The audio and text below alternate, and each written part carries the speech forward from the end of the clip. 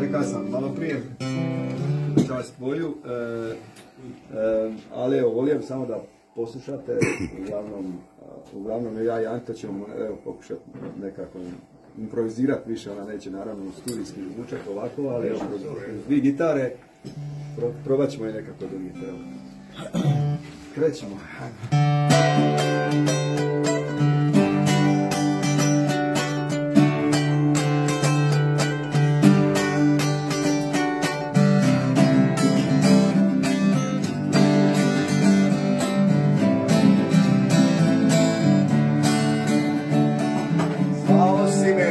Za kuma, ukazao čast, nešto sveto i veliko sada veže nas.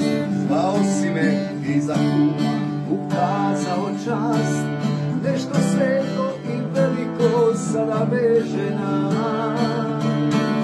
Kad pijemo kuvija, nek se trese zemlja sla,